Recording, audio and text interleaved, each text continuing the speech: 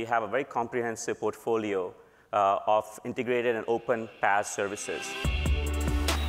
It allows customers to develop and deploy applications, be able to integrate and extend them very easily, be able to publish content and engage users, analyze the data, and be able to predict actions associated with that, and then be able to secure and manage all the different systems uh, you might have in your environment. The Oracle Digital Assistant can take a great tool like Slack and extend it to be even cooler with the sort of capabilities in this instance of the Oracle Analytic Cloud. As I type, it's recognizing what I'm typing and bringing up the images. So as a developer, you can focus on building your applications instead of worrying, up, worrying about the underlying infrastructure or the platform for running those applications on. How did we do that? We actually used AI and ML to power a set of algorithms. I can plug it into um, applications like Slack or any custom bespoke application. It doesn't require any kind of coding. You don't have to be a professional developer to be able to connect your on-premise application with your SaaS application. I've been hearing about chatbots for the last few years that is evolving very quickly to digital assistant, which is really taking different chatbots and connecting them together